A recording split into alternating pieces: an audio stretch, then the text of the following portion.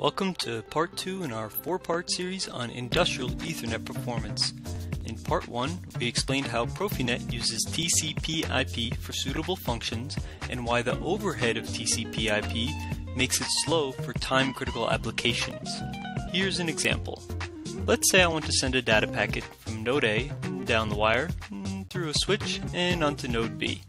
It would take a certain amount of time to do so but the time on the wire is only a small slice of the pie, and the time spent at each node packing and unpacking the data is the bulk of it. To get real-time performance, Profinet goes the obvious route and skips TCP and IP. Instead, data is directly sent to the application layer. So, data packets take the same amount of time every time, an effect we call determinism. This instead of some packets taking longer than others, an effect we call jitter. Most data in Profinet networks is transmitted using this method. Communication is quicker and more reliable. But why stop there?